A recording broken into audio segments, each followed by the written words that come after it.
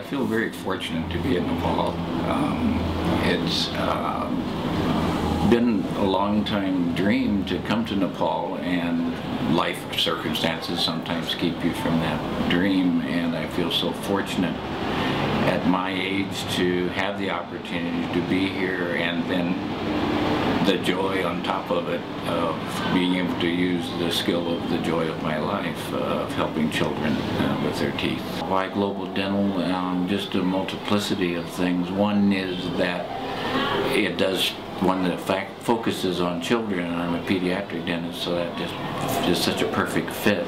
Really impressed with um, the energy of this whole team that's here. Of it's um, they're not here to vacation. I mean, we all seem to have the same mission of really wanting to work, and yeah, we have fun when when we have a little off time, but it's just uh, really neat.